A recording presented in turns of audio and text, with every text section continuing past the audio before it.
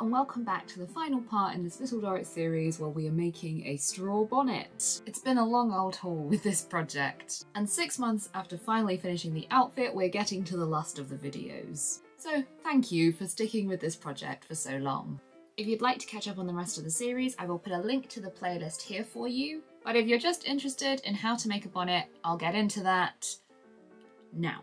So to make this straw bonnet, you're going to need to get your hands on some millinery straw braid. Now you can sometimes find this from specialist suppliers, but it's hard to come by and quite expensive, so it's often just easier to deconstruct a cheap straw hat. I actually bought these straw discs from Parkin Fabrics. They were very cheap and I ended up needing two of them to make this bonnet as it's pretty large. I didn't unravel the disc all the way. I left a circle with the diameter I needed the tip of my bonnet to be. I then began coiling the straw braid I had just unravelled around the edge of the circle but instead of overlapping the layers to make a flat disc, I whipped the edge together at right angles to begin making the crown of the bonnet.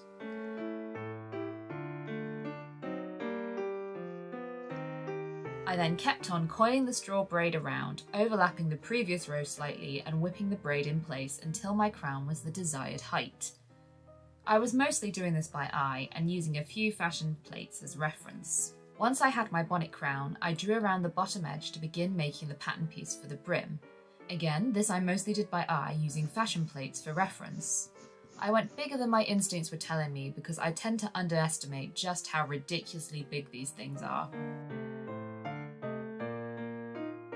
I then cut the pattern piece out and modelled it to determine if the size and shape were right or not.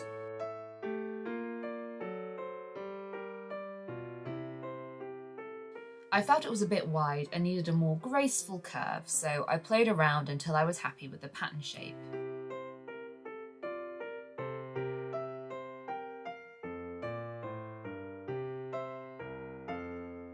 I then began pinning the straw braid into the shape of the pattern piece, starting in the middle and overlapping the previous row.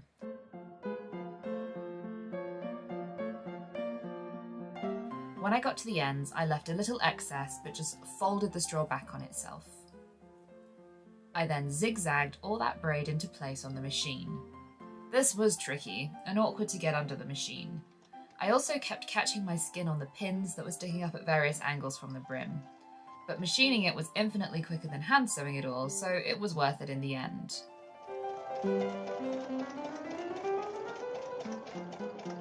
I didn't cut off the excess braid just yet as I knew I wanted to use it to finish the edges of the bonnet.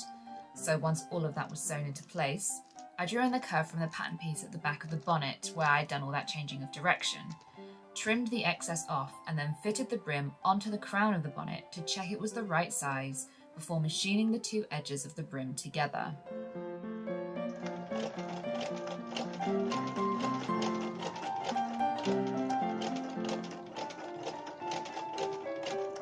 Then neaten that cut edge by machining the length of braid that I hadn't trimmed down earlier over the raw edges and the untidy section of the join.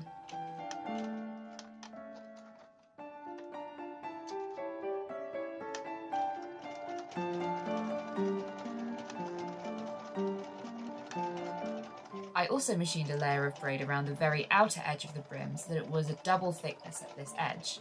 This was sort of decorative, but also gave the outer edge some more stability. I folded under and neatened the raw edge and the brim was complete. All I had to do then was attach it to the crown. I pinned the crown into position and tried the bonnet on, just to make sure I was happy with the shape. I love this bonnet so much, I'm so glad I took the time to make it. Then I hand stitched the crown to the brim, first the lower edge from the inside and then the top edge from the outside. I used a strong linen thread, mostly because it was the best colour match I had for the straw, and a whip stitch to join the two layers together.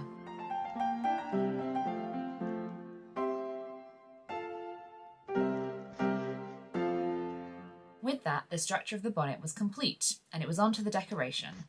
I was heavily inspired by this fashion plate, which appeared to have this ruched fabric section on the bonnet. So I made a tube of fabric out of offcuts from the dress, pressed the seam open, and then turned the tube right side out.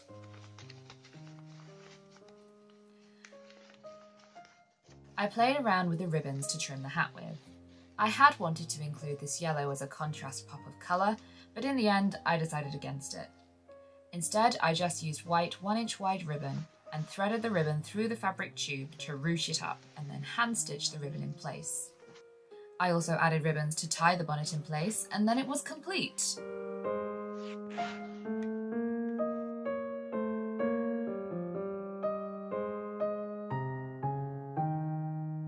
I know you've seen the bonnet before in the reveal bits of all the other videos, but still, I love it so much I've included a few more close-ups for this video. This may be one of my favourite things I've ever made, and there's just something about a bonnet that makes you feel as cute as a button. I particularly like the way the light can shine through the lightweight straw, and that decoration is simple but still has impact. Oh, I'm so pleased with it.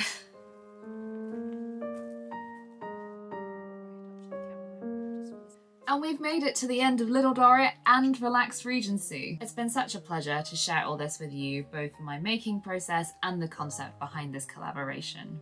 I hope this project has inspired you to sew at your own pace and to know that it's okay to cheat at sewing sometimes or do things that are lazy or perceived as bad practice or whatever. Not every project you make has to be super challenging or historically accurate.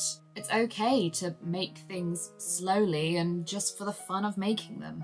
So thank you all so much for your support with this project and this collaboration. It's been really wonderful and it's meant an awful lot to me that I was able to do this. I did mention it previously, but I am hoping to do some more historical projects on this channel. And I quite like this format of making them in like a little series, so I think that's what I'm going to do going forward. I've already got an idea lined up for my next costuming project. You shall have to wait and see what that's going to be. So if you'd like to see more videos like this, you can subscribe to this channel and make sure to leave me a comment letting me know which historical eras you would like me to try next. And all that's left to say is thank you very much for watching. See you next time.